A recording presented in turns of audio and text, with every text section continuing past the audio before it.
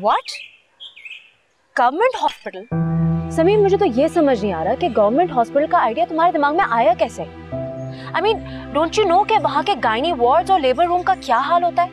Patient care कैसी होती है? मैं खुद नहीं चाहता कि उसकी डिलीवरी गवर्नमेंट हॉस्पिटल में हो।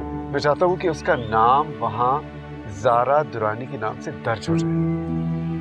गवर्नमेंट हॉस्पिटल में जो नाम दर्ज होता है ना वो ऑथेंटिक होता है। कोई इसमें शक नहीं करता। अब उसको एक दो बार हॉस्पिटल लेकर जाऊँगा वहाँ लोगों को यही पता चलेगा कि ये मेरी बीवी है और ये जो बच्चा हो रही है हमारा है।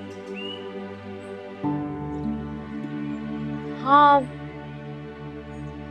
कह तो तुम भी सही रहे हो। चाहती तो मैं भी यही हूँ कि हमारा सारा काम कानूनी तौर पे पक्का हो ताकि हमारे बच्चे को आगे जाके हमसे कोई छीन ना सके और सबको यही लगे कि वो वाकई हमारा बच्चा है। Exactly exactly. अच्छा तुमने करना ही है कि तुमने उसको मनाना है कि वो मेरे साथ अकेली हॉस्पिटल जाए। इसलिए अगर तुम जाओगी तो लोगों को शक ना हो जाए ना? समझ रही हो ना तुम?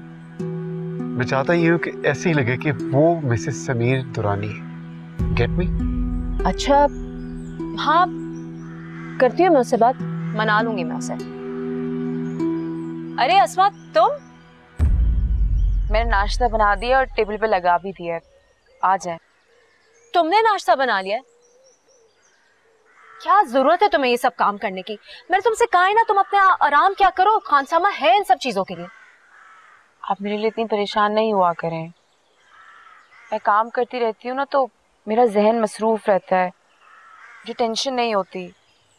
कोई ज़रूरत नहीं है टेंशन लेने की वरना तुम बीमार हो जाओगी और फिर बच्चे को आई I मीन mean, देखो इस वक्त तुम्हें अपनी सेहत का और बच्चे की सेहत का दोनों का ख्याल रखना है।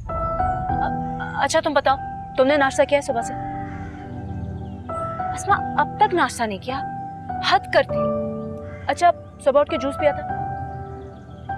जूस भी नहीं पिया आसमा कहा है ना मैंने तुमसे? जूस पीना इस वक्त बहुत ज़रूरी है। अच्छा चलो चल के हम नाश्ता करते हैं। आ जाए समय हाँ आ रहा हूँ हो गया। अच्छा क्या बनाया नाश्ता में?